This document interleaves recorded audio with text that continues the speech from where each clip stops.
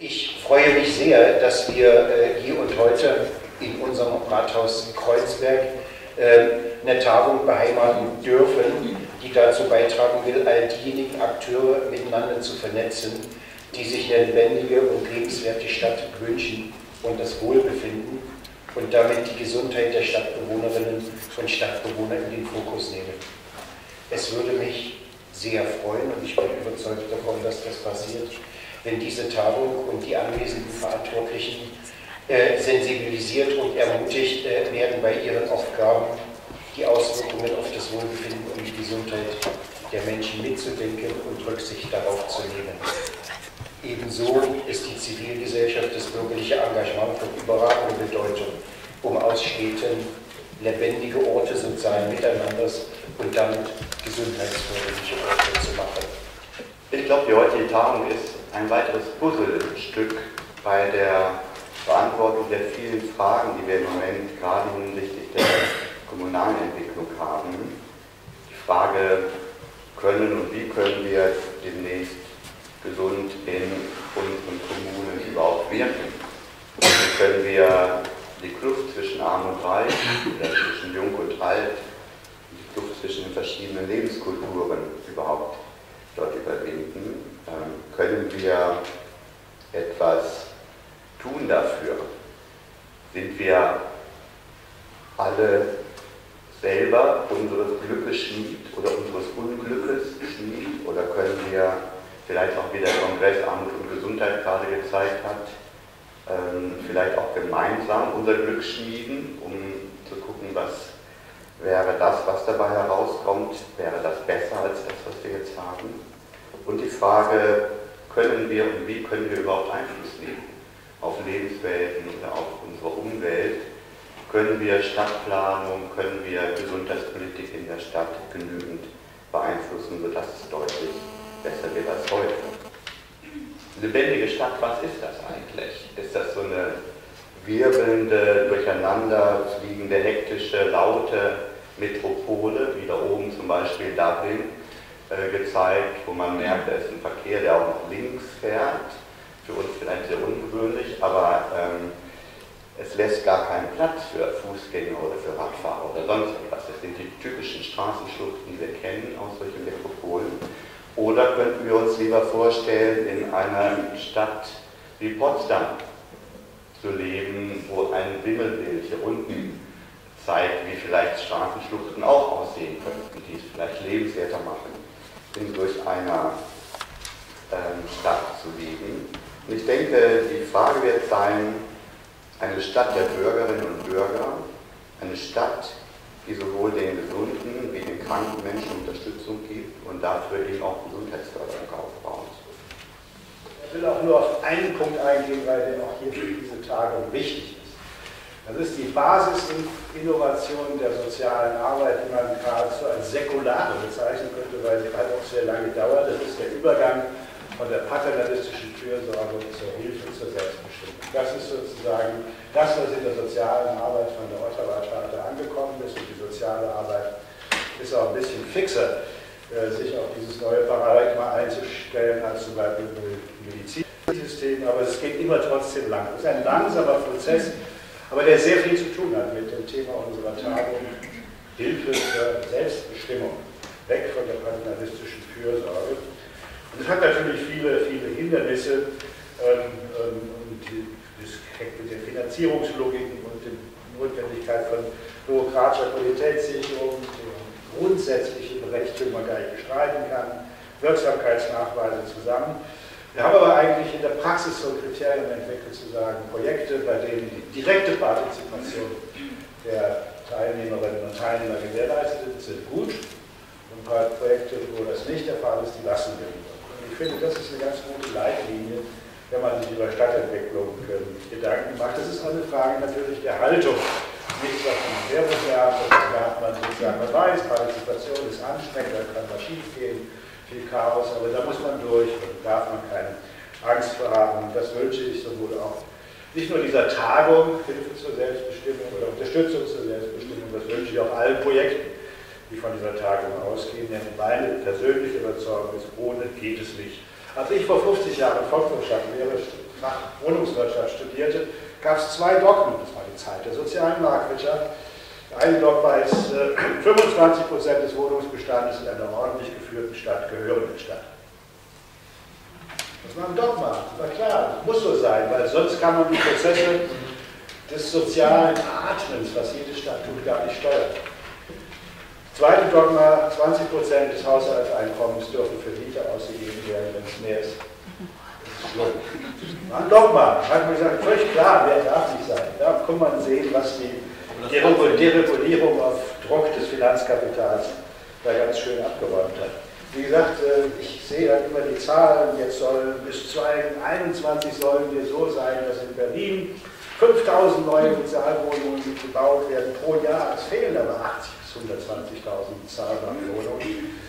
Und dann kommt und sagt, ja, aber die 5000 sind ein Schritt in die richtige Richtung. Ich kann das nicht mehr hören mit dem Schritt in die richtige Richtung. Wenn sozusagen die Probleme eine Dynamik haben, eine berechenbare Dynamik und unsere Beiträge zu ihrer Lösung immer kleiner werden, dann mag der Schritt einer sein, aber die Richtung stimmt dann nicht. Die Richtung ist dann nicht mehr auf Problemlösung, sondern auf Problemverwaltung gerichtet. Das ist dann jetzt gar nicht den Akteuren vor Ort vorzuwerfen, aber das muss man einfach unbescheidener werden. Das ist die zweite Ratschlag, ich habe meine Berufswahl als Gesundheitswissenschaftler. Da steht alles eigentlich drin, was wir hier vorhaben in der Ottawa Charta für Gesundheitsförderung von 1986. Ich lese mal meinen, das ist ja ohnehin ein wunderbarer Text, meinen liebsten Textteil aus der Ottawa Charta vor. Gesundheit wird von Menschen in ihrer wirklichen Umwelt geschaffen und gelebt. Dort, wo sie spielen, lernen, arbeiten, Gesundheit entsteht dadurch, dass man sich um sich selbst und für andere sorgt, dass man sie in die Lage versetzt, selbst Entscheidungen zu fällen, eine Kontrolle über die eigenen Lebensumstände auszuüben, sowie dadurch, dass die Gesellschaft, in der man lebt, Bedingungen herstellt, die all ihren Bürgern Gesundheit ermöglichen. Bitte dich, uns zu helfen, aber vorher muss, das ist mein Part, so haben wir es abgesprochen, da muss jetzt ein Mann ran, um sie alle aufzubringen. Herzlich willkommen zum interaktiven Theater-Intermezzo. Äh, sind alle eingeladen, Akteure zu sein. Wer das nicht möchte, hat jetzt 30 Minuten Pause. Zeitpunkt, dass wir auch den Übergang von Elisabeth Voss hinkriegen. Ne? Ja. Danke dir. Ich möchte euch nämlich etwas ganz Schönes erzählen. Vor ziemlich genau einem Jahr war Mosano hier in Berlin, eine Kanadierin, die global für das Recht auf Wasser unterwegs ist. Sie war eingeladen von Aktivistinnen und Aktivisten von des Berliner Wassertisch und hat, das, hat die Idee, die Praxis einer Blue Community vorgestellt im Abgeordnetenhaus. Bei Blue Communities geht es darum, dass sich Städte, Gemeinden, auch Kirchengemeinden oder Unternehmen zum Recht auf Wasser bekennen, eintreten aktiv für kommunales Wasser gegen Privatisierung und vor allem auch dies praktisch untermauern, indem sie Leitungswasser trinken, statt Plastikplörre irgendwelcher Konzerne, die, wie wir wissen, anderenorts Menschen das Wasser, was sie zum Leben bräuchten, abgraben. Und heute ist der Weltwassertag und heute im Abgeordnetenhaus, wahrscheinlich gegen 17.30 Uhr steht es auf der Tagesordnung, dass Berlin sich heute zur Blue Community erklären wird. Da haben viele Leute sich für eingesetzt und ich bin unendlich froh, dass es heute wird. Wir werden uns so ein bisschen auf die Reise begeben, ähm, was von dieser hoffnungsvollen Anfangsphase der Urbanisierung geblieben ist und ähm, welche Hoffnung das Städtische heute hat. Und wir werden uns also vor allen Dingen mit den gesellschaftlichen Dimensionen des Städtischen beschäftigen. Also wir werden nicht so viel über Bauen und, und Strukturpläne reden, sondern tatsächlich darüber nachdenken als Sozialwissenschaftler, ähm, welche gesellschaftlichen Aspekte stecken eigentlich in der Stadt. Und ähm, das geschieht alles ähm, in einer zunehmend urbanisierten Gesellschaft. Also Henri Lefebvre hat schon in den 60er Jahren gesagt, wir werden auf eine total urbanisierte Gesellschaft hin, hinzusteuern, in der alles städtisch organisiert ist. Also dieser Unterschied zwischen Stadt und Land, den wird es irgendwann gar nicht mehr geben und ähm, wir sind da auf einem sehr guten Wege in diese Richtung. Ähm, wenn wir uns überlegen, welche Funktion das Städtische hat, welche Funktion Städte haben, dann ähm, fällt einem viel ein, Stadt ist Chaos, aber ein Chaos mit ganz vielen Regeln. Ja, jetzt hier ausgedrückt mit den Bildern von, vom Verkehrschaos. Und in einer Stadt wie Berlin. Ähm, Stadt ist aber auch Infrastruktur, jetzt haben wir hier ein Infrastrukturprojekt, was ähm, noch nicht ganz fertig gebaut ist und ähm, dass Infrastrukturen die Städte brauchen, ähm, nicht nur Flughäfen sind, sondern eben auch soziale Einrichtungen, kommunale Einrichtungen, Gesundheitseinrichtungen, bitte ich mitzudenken und auch da ähm, befinden wir uns eigentlich in so einer Art Dauerbaustelle, ähm, die nie so richtig fertig zu werden scheint. Stadt ganz wichtig ist Wohnort. Ähm, in Berlin ist es ein Wohnort zu 85 Prozent durch Mietverträge organisiert, also eine Mieterstadt wie die meisten Großstädte in Deutschland. Ähm, Städte sind aber auch der Ort der Arbeit. Also gerade in den letzten Jahren beobachten wir ähm, das, was als eine Tertiarisierung der Stadtentwicklung beschrieben wird, also die Rückkehr von Arbeitsplätzen in die Innenstädte, Büroarbeitsplätze, vor allem Dienstleistungs- und Servicearbeitsplätze, ähm, die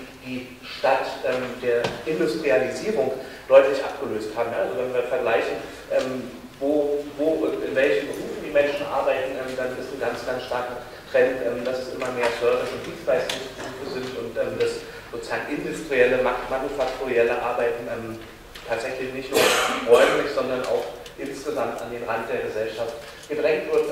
Stadt ist auch Grünfläche hier die schönste und größte, weil sie auch von den Bewohnern der Stadt selber durchgesetzt wurde mit dem Tempelhof Volksentscheid ähm, Grünfläche in der Stadt, ähm, die auch deutlich macht, also Stadt ist nicht nur Arbeits- und Wohnort, sondern ähm, für viele andere Bereiche des Lebens ähm, der Ort, an dem die ausgeübt werden. Ähm, Stadt kann aber auch Brache sein.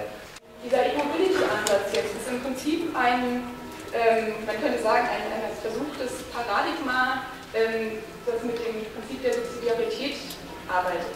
Also im Prinzip sagt, lauf dort, wo du laufen kannst. Ähm, wenn das nicht alleine geht, kann man sich natürlich auch Hilfen dazu holen, zum Beispiel Gehstöcke oder äh, Schuhe oder ähm, einen Rollator.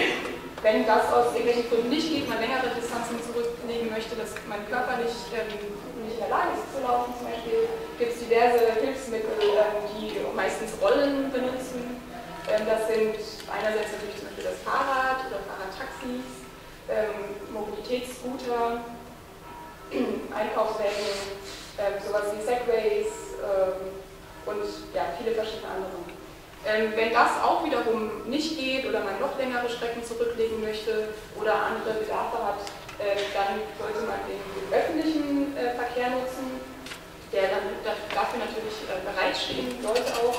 Ähm, da gibt es ganz, ganz viele Arten, die man da mitdenken kann. Das ist natürlich hier in Berlin kennen wir gut die S-Bahn, U-Bahn, Busse. Ähm, es gibt andere Städte, die haben ähm, zum Beispiel Seilbahnen in der Stadt als Form des öffentlichen Personenverkehrs. Ähm, Fähren kann man dazu zählen, zum Beispiel Rolltreppen, wie sie in Hongkong zum Beispiel auch mitten in der Stadt gebaut werden, um, um als Transportweg. Und da gibt es vieles verschiedene andere auch. und dann als quasi eher letzte Option kann man sich dann, wenn das doch mal sein sollte, auch das, dann ein Auto zur Hilfe ziehen ähm, das dann im Optimalfall ähm, geteilt, also Carsharing sein sollte oder ähm, gemietet. Insgesamt gratuliere ich der, den Veranstaltern, dass sie groß zugegriffen haben, nicht so in den kleinen, kleinen kommunaler Gesundheitsförderung. Das ist alles wichtig, das will ich nicht abwerten, aber das verstärkt auch den Blick für die größeren Zusammenhänge. Deswegen finde ich das gut, dass er höher einsteigt.